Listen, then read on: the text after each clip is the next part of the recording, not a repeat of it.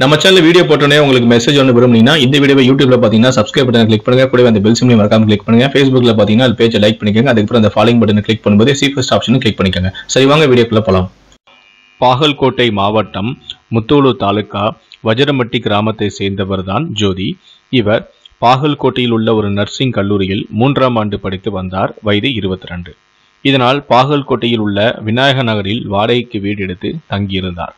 இந்நிலையில்தான் ஜோதி நர்சிங் பயின்று கொண்டே தனியார் மருத்துவமனை ஒன்றில் நர்ஸாகவும் பணிபுரிந்து வந்துள்ளார். அப்போது அதே மருத்துவமனையில் பணியாற்றி வந்த அனிஃப் என்பவருக்கும் ஜோதிக்கும் காதல் ஏற்பட்டது.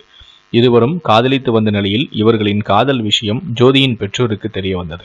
இதையடுத்து அனிஃபை அழைத்த ஜோதியின் பெற்றோர்கள் நாங்கள் தலித் இனத்தை சேர்ந்தவர்கள். எங்கள் மகளை திருமணம் செய்து கொள்ள உங்கள் வீட்டில் ஒத்துக்கொள்ள மாட்டார்கள். எனவே என்- எனவே ஜோதியை மறந்துவிடும்படியும் கூறியுள்ளனர். அதன் பிறகு ஜோதி அனிஃபை சந்திப்பதை தவிர்த்து வந்துள்ளார். ஜோதி தன்னிடம் பேசாதால் ஆத்திரமடைந்த அனீஃப் பேச வேண்டும் என கூறி கடந்த பிப்ரவரி பதிமூணாம் தேதியன்று ஜோதியை பைக்கில் அழைத்துச் சென்றுள்ளார்.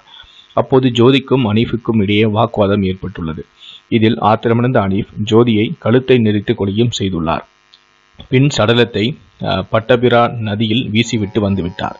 பட்டபிரா நதியின் ஜோதியின் சடலம் இருப்பதைக் கண்ட அந்த பகுதியினர் போலீசாருக்கு தகவலும் தெரிவித்தனர். இதையடுத்து சம்பவ இடத்திற்கு வந்த பாகல்கோட்டை போலீசார் சடலத்தையும் மீட்டனர். தன் மகளின் சாவுக்கு காதலான அனீஃப் தான் காரணம் என்று ஜோதியின் பெற்றோர்கள் அளித்த தகவலின் அடிப்படையில் போலீசார் அனீஃபையும் பிடித்து விசாரித்ததில் அவர் ஜோதியை கொலை செய்து நதியில் வீசியதை ஒப்புக்கொண்டுள்ளார். இதையடுத்து அனீஃபை கைது செய்த போலீசார் அவர் மீது பல்வேறு பிரிவுகளின் கீழ் வழக்கு பதிவு செய்து நீதிமன்றத்தில் ஆஜர்படுத்தி தற்போது சிறையிலும் அடைத்துள்ளனர்.